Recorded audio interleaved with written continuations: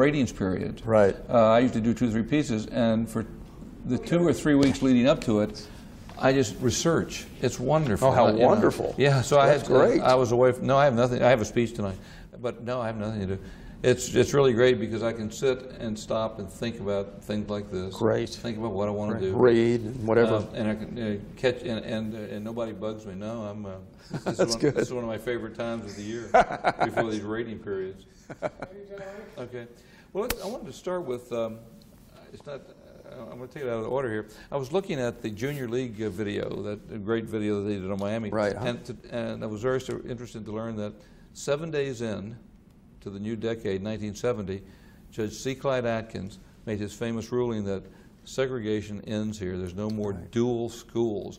And I think a lot of people will be, newcomers would be surprised that segregation really only ended here 30 years ago. Right. And uh, do you remember, was that a trauma for our area? Well, this was a typical Deep South community, and they resisted the Supreme Court ruling in 1954 as best they could. They kept delaying and uh, using all kinds of other methods to get away from it. And finally, C. Clyde Atkins, who was a, uh, a very moral person but also very courageous, said, we've got to stop it, and this is the way it's going to go. I'm going to create a plan to desegregate these schools." And by 71, his plan was being acted on.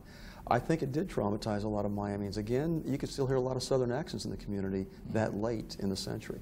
I've even got pictures of uh, people in Ku Klux. Right. So, um, so um, I was sort of it sort of bypassed me. Uh, you ready? Yeah. Uh, a lot of people would be surprised that less than 30 years ago, uh, this was a segregated community. Before Very much so. Before Atkins did. I mean, this, was this a southern town? This was a deep South community. You can look at old videos going back to 69, 70, that late, and still hear Southern accents on the part of county and city leaders. And so when it came to desegregation, there was the usual delay as there had been throughout the South. And finally, Judge Atkins, a very courageous and moral person, said, we got to do something about this. And he laid out a plan in 1970, and it was in, effected by 1971. Was it easy or was it hard to to integrate here?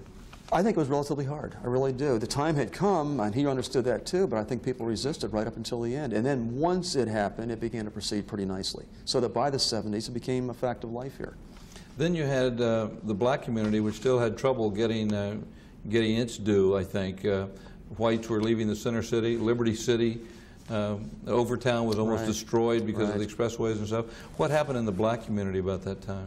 Well, Liberty City was growing tremendously, and Overtown, which had had 40,000 plus people in 1960, was down to 23,000 plus in 1970, primarily because of expressway building. So it's really diminishing. And what's happening to Liberty City is a lot of these adjoining blue-collar uh, white neighborhoods, people were bailing out of there, and many African Americans were buying.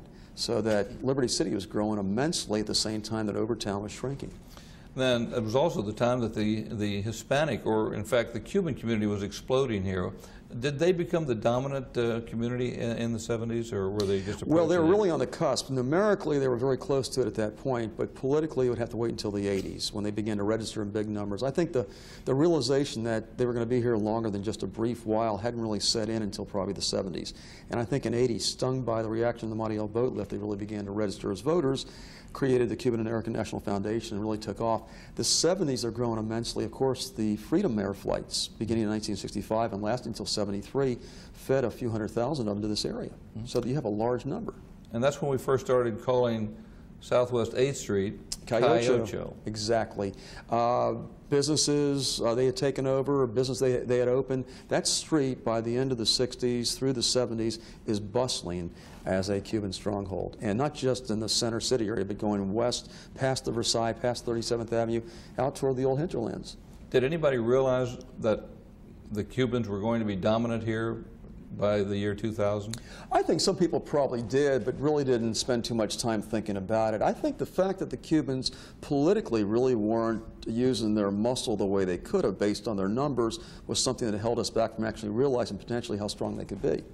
We finally got a Hispanic mayor in the mid uh, middle of the decade, Puerto Rican descent, Right. Maurice Ferre. How significant was that? Very significant. Uh, this was one of the first places major cities to have a Hispanic mayor, and uh, I think it really symbolized the fact that there were so many Hispanics in the community. His strength was not only in places like Little Havana, but also in Allapattah. There were a lot of Puerto Ricans, Wynwood. So he really reached out to a lot of parts of the city that were already Spanish speaking. Miami was sort of slow uh, in the 60s getting up to speed with things like hippies and free love, but they caught up in the, in the 70s. And I think the, we had these two political conventions, and this area was overrun with the hippies and yippies. What was that like? Well, that was the last hurrah, I think, for the counterculture was the 72 political nominating conventions, Democrats and Republicans, and they came down in huge numbers. They came down to protest that lingering Vietnam War. Uh, it was centered essentially on the beach, but you had a large hippie community then in Coconut Grove and in some other parts of greater Miami. And uh, the place was overrun, the beach was in particular, by hippies. And I think for a lot of people, it's like, my God, what has happened here? But you're right, it did come late to this area. At the South Beach area at that time were still what it was always had been, a, a lot of old retired people from the north, mostly Jewish. Uh, but the Art Deco idea hadn't caught hold just yet. When did it catch hold in the 70s? Well, uh, Barbara Capitman, who had come down here on her honeymoon in 1938, came back in the early 70s when her husband had an appointment at FIU, brand new university. And she wandered over there because they had honeymooned over there. She said, my God, they're all still here, these wonderful streamlined buildings. What can I do to preserve them? And it was an enclave of very elderly people. And so she organized within four years of seeing those, in 1976, the Miami Design Preservation League, they secured a grant of money to survey an area for a proposed historic district, which they did, applied for national designation in 1979 and got it by the middle of 79. And so that was the turnaround. But it would take another, I'd say, eight or nine years for that district to really become vibrant and viable. But this was the beginning then of the preservation of that very large district over there on the beach. Why was there so much resistance from particularly developers to this concept of Art Deco South Beach? They didn't see the value in this historical architecture at all. They also had their own schemes. One scheme at the same time the district was coming together was to canalize yeah. South mm-hmm. Beach, to make still another Venice of America. And so there was a great resistance on the part of officialdom. And in fact, they didn't protect those buildings. That's one reason why the New Yorker went down later and the Senator went down. There was no local protection until the last decade or so for those buildings. We had uh, a president who lived here, Nixon. Did that um, did that have any impact at all on our area in South Florida? I think it did. It brought uh, all sorts of uh, media attention to the area. It uh, transformed Key Biscayne from one red light to many red lights. It closed off some streets. Um, and I think it especially did during the height of Watergate. He took refuge here again and again and again with his buddy Bebe Rebozo and some of his staff. But uh, this was the winter White House, and you had that date line coming out of Key Biscayne. I don't think a lot of people realize it, even those who lived here a long time, that Watergate, was, the story was broken in Washington, but the first key evidence was right here in Miami with Richard Gerstein's office. Exactly. We had four people involved in that break-in, Cuban refugees who came from Miami. They were part of that. Mm -hmm. And there was a lot of Watergate activity going on here. I remember this place was crawling with newsmen from everywhere during that time. Investigating the early parts of Watergate because of the background of some of these people. The really another real downer was drugs. Uh, we started seeing these drug shipments coming in in the 70s. Do you recall what happened? Why, why, why they suddenly started showing up? I don't recall them coming in like that before the 70s. Well, uh, the area's location. Uh, the same reason that this had been a prime entry point for illicit alcohol from 1920 to 33 made it the same thing for drugs beginning in the 1970s. And you begin to see the, uh, the Mutiny Hotel open in 68. Within a matter of a handful of years, you're getting this stereotypical Colombian drug dealer hanging out at the bar there. By the late 70s, you've got these, this syndicated drug ring here. And you've got shootouts. The most notorious, of course, being at Dadeland with the cocaine cowboys pulled up in that van filled with weapons and started a shootout there. Mm -hmm. um, location, I think, had the prime was the prime reason for this area being besieged by drugs. Mm -hmm. What, now, there were some really some happy occasions. The Miami Dolphins went to three Super Bowls and went undefeated.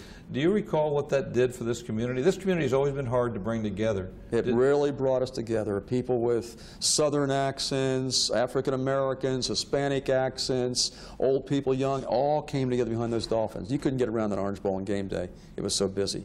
Mm -hmm. I wish the Orange Bowl was still there. I certainly do. I love the place. Love it. Entertainers.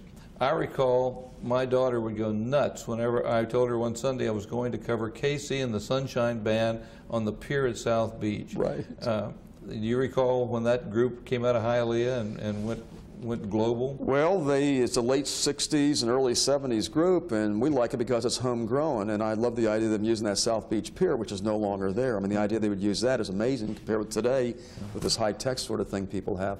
But uh, we did have some homegrown entertainment. The Rhodes Brothers from the 60s and 70s, uh, Nita Bryant, who had adopted this place as her home, controversially so. But we had a lot of homegrown stuff here. Speaking of Anita Bryant, uh, toward the uh, end of the decade, the 77, 78 area, she uh, gets involved with gay rights. Um, what was the significance? Uh, they, they, they got the law overturned here, but there was a bigger national significance to, to what happened. I think the attention. Well, it really focused, uh, it focused attention, A, on this community, but also focused attention on this whole issue of gay rights, uh, which went from there to many other communities, not just the controversy, but many ordinances that were passed in other places that would uphold certain gay rights, and that's an ongoing story. As for Anita Bryant, that was probably the end of her career, beginning the end anyway. Did that did it was have anything to do with um, creating the gay community in Miami today as we know it? Well, you know, S- Stonewall in New York, the bar in '69, uh, was the starting point for that, and I really think that here, and that happened in the late '70s, that really triggered this gay awareness, and that gay awareness was really manifest in a lot of places, including the whole revival of South Beach. But I think it did bring together a lot of gay people, and it brought a lot of gay people out, as it were. You know, not to hide behind the Anita Bryants, but to get out there and just show people who they were. Another thing that many of us didn't know how to deal with as journalists or otherwise was feminism uh, in the person of a Roxcy Bolton. She's an amazing person, and she went out there and said, look, it's time. You know, there's been other liberation movements, now we're here. And within that decade, it wasn't just Roxcy, but many people began to assume prominent positions, like a Janet Reno and an Athalie Range and an Alice Wainwright would hold tremendous political and law, legal positions in the community. Miami, uh, before the 70s, and I know when I was doing the 60s series, you couldn't find examples, activist uh, examples. I mean, they were going on around the country, but it was hard to find activists in feminism, activists in gay rights. Right. What happened in the 70s that brought these people out, and suddenly we were activists too? Well, I think we had grown to be a much larger area than we ever were before. and I think there was just so many opportunities for people because of the liberation movements of the 60s, such as civil rights and what have you, for people to assume that. But the trigger for Bob Kunst would have been the Anita Bryant actions and overturning that thing, and the trigger for Roxcy Bolton would have been, it's time. You know, we can't continue to be discriminated against. I just think the time had come, the area had gotten large enough and diverse enough where people were stepping forward, and the opportunities were there for that. Uh, the whole 60s thing, I think, gave birth to fearless activists, and we finally caught on to it by the 70s. Education was pretty uh, got uh, a lot of attention. Uh, Miami Dade downtown Absolutely. was created. It sure was.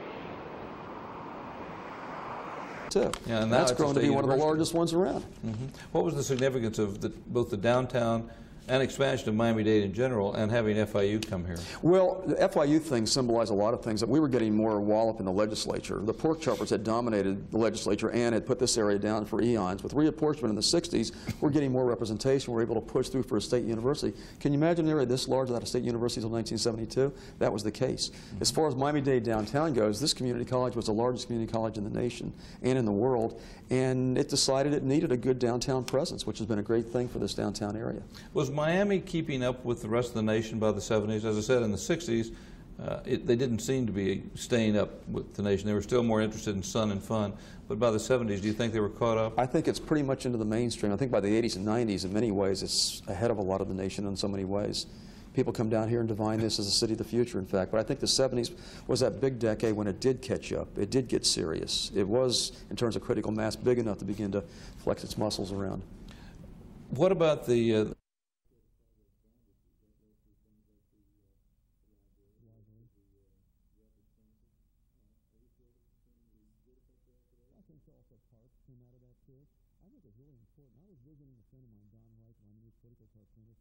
And I said, Don, nothing's happening here. He oh, wait a minute. This decade of bond progress, decade of progress bond issue has been fantastic. You wait to see what's going to happen in the next 10 or 20 years. And he's right.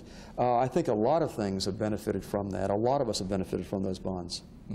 What about Broward? Was you know Broward until recently always sort of lagged behind Miami-Dade, and now it's up on a par perhaps. What was going on in, in Broward at that time? Well, I think the number one thing about Broward at the time was growth. Keep in mind that Broward County's population as late as 1940 was somewhere around 50,000 people. Uh, damaged airplanes and to put into place corrective solutions. The experts will get the data they need to stay in front on safety. President Clinton is encouraging all airlines to do what American Airlines is doing. It developed the Aviation Safety Action Program, ASAP for short.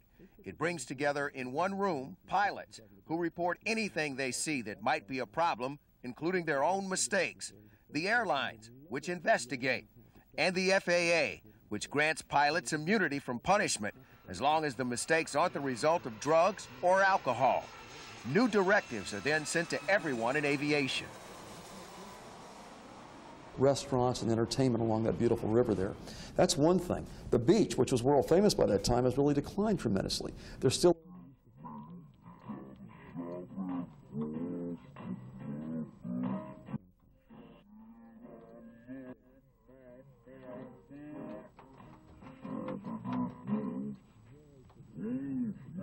And the fact that after all of these struggles, blacks were empowered to the degree where they could elect a city commissioner who was not only black but a woman. She came up from Key West uh, many years before that and really took her place among the, the giants here. Do you remember the gas crisis back in 73, 74? Sure do. The first time I ever saw people I thought were going to kill themselves, at, uh, kill each other at, at gas pumps. Right. Well, again, being a suburban sprawl in Greater Dade County and Broward County, people are very vulnerable to that. If you're living way out there in the suburbs, and at that point, way out might have been 87th Avenue or 107th Avenue, you're coming into work, there's a real problem there, and there's no mass transit to speak of. Cruise ships really accelerated. We'd had Right. cruise ships, but they really grew in that decade. Well, I think because Carnival Cruise really came on board at that point. It began, it was a young company at that point, and it really grew that uh, decade and made this huge commitment uh, to stay here and to create more and more ships. And so it really became a great decade for cruise ships. By the 80s, I mean, everything's launched. That's on its way to becoming the number one cruise ship port in the world. Provided they don't try to tax yeah, the for tax. the stadium. oh, Lord help us. Lord help us. When first went um, downtown Renaissance. Downtown's interesting, Ike, and it's one of my favorite places to study. In some ways, downtown was dying in the 70s, and in other ways, it was being reborn. The Knight Center, uh, they had cleared some old buildings on the river for the Knight Center uh, and for the future Hyatt Regency. They had saved the Gusman Center, which was going to be a parking garage. Believe it or not, they're going to level and build a parking garage. They had built the Omni, which opened in 77, and that whole area looked like it was taking on a renaissance. And yet, in between all of that was the death of, say, the Northeast 2nd Avenue corridor as it moves north into the Omni. Would have been a bunch of businesses and just neighborhoods were gone. Urban renewal had leveled these things, and businesses elsewhere had put them out of business. Uh, so you've got a tremendous mix. You've got retail turning seedy downtown, but you've got some real signature buildings beginning to arise too, which I think is symptomatic of a lot of American downtowns. Is there a big difference between the 70s and today here in South Florida? Very significant. So much more Hispanic today in so many different ways. Very different. And when we do the story 25 years from now, we'll be talking about the Hispanic achievements of South Florida, I guess. Oh, absolutely, in a big way. Yeah, for sure. What, have we forgotten? Anything off your list? I think we've. Well, we, I we think we covered covered almost everything. Uh, I mean, we really did in, in pretty rapid fashion, too. What's your bottom? Um, take a look there, and I'll ask you one final one. How about that Brickell Avenue transformation? I Yeah, oh was yeah. really when, I first, interesting. when I first came here, there were there were still uh, beautiful homes on Brickell Avenue near the river. For sure. What happened to all those homes? The transformation from Brickell Avenue takes place in the 70s. Prior to the 70s, there were about three commercial buildings on Brickell Avenue. At the end of the 70s, essentially all those great old mansions and homes had been leveled, and now one financial building after another is replacing them. Until today, that's the Wall Street of Southeast Florida, hmm. with over 45 banks there, are international banks. So the 70s was a huge decade, and what it meant was that Brickell was so important as an attachment to downtown and as a beautiful area along the water that let's not just put a house there, let's buy the house, put a big building up there in its place, and really maximize our money. Ken, we don't want to go as far as the 80s because we're not there Right. yet in this story.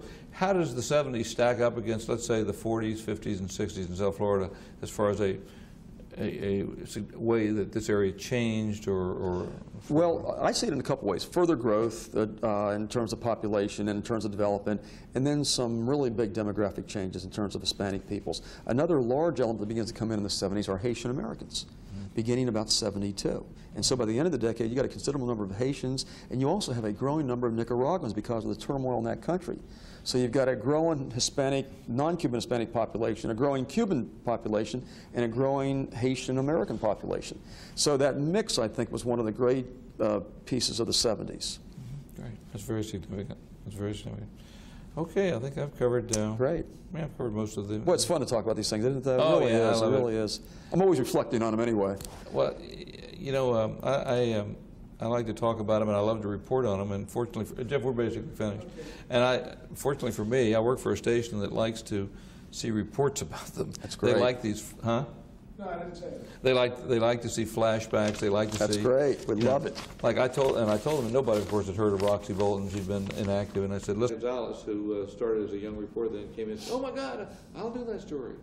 And so we got out all this old tape of Roxcy, and uh, fortunately, uh, finally they dedicated, they, they donated it to this library, which is the basis. And we use it all the time. Oh. Uh, Ike, last week I gave a talk at a money laundering conference, and I used some of their tape on Trafficante, Lansky, Kefauver, Dan Sullivan. You should have seen the tape that I had. I've got it in my file. I've used all that stuff. Jeff and I did a, uh, a, a mob story last year. Well, I'd say 400 plus people there. Yeah. So, did you arrange then for the transferal of that film over to Steve Davison? I wouldn't say that I arranged it, but I was You certainly helped one to of do the it? ones that was, that helped to, to call and, and, and make sure they understood That's wonderful. what they were That's- about.